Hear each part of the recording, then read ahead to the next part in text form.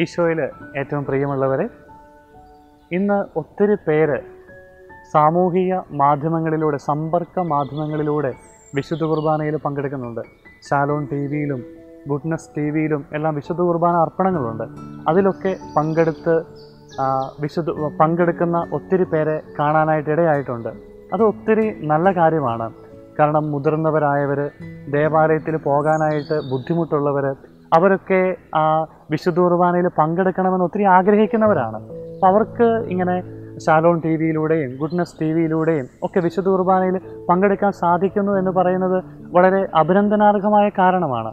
എന്നാൽ ഇതിൽ ശ്രദ്ധിച്ചിട്ടുള്ള ഒരു കാര്യമെന്ന് പറഞ്ഞാൽ ഇപ്പം ഒരു മാതാപിതാക്കന്മാർ മുതിർന്നവരായവർ മക്കളോട് പറയുമ്പോൾ വിശുദ്ധ കുർബാനയെ കൊണ്ടുപോകണം വിശുദ്ധ കുർബാന സ്വീകരിക്കാനായിട്ട് ആഗ്രഹമുണ്ട് എന്നൊക്കെ പറയുമ്പോൾ അവർ പറയുന്ന ഒരു കാര്യമെന്ന് പറയുന്നത് അമ്മച്ചി ഈ ചാലോൺ ടി വിയിലൂടെയും ഗുഡ്നസ് ടി വിയിലൂടെ ഒക്കെ വിശുദ്ധ കുർബാന കാണുന്നുണ്ടല്ലോ. അതൊക്കെ മതി എന്ന് പറഞ്ഞ് മാതാപിതാക്കന്മാരെ വിശുദ്ധ കുർബാനയിൽ സംബന്ധിക്കാനായിട്ട് കൊണ്ടുപോകാത്ത അല്ലെങ്കിൽ വിശുദ്ധ കുർബാന സ്വീകരിക്കാൻ അവസരം കൊടുക്കാത്ത ഒത്തിരി മക്കളുണ്ട്.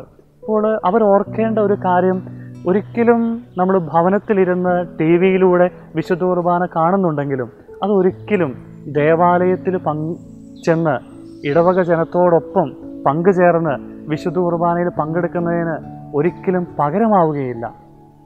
അതിനാൽ തന്നെ നമുക്ക് നമ്മുടെ പ്രിയ മാതാപിതാക്കന്മാരെയും അവരൊക്കെ ഒത്തിരി ആഗ്രഹിക്കുന്നവരാണ്.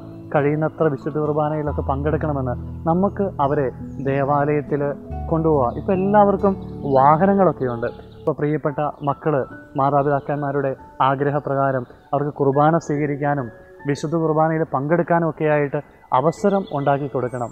നമുക്കെല്ലാ വ്യക്തികൾക്കും അതിനുള്ള ഒരു ആഗ്രഹമൊക്കെ വരാനായിട്ട് നമുക്കെല്ലാവർക്കും അവർക്ക് വേണ്ടി പ്രാർത്ഥിക്കുകയും ചെയ്യാം.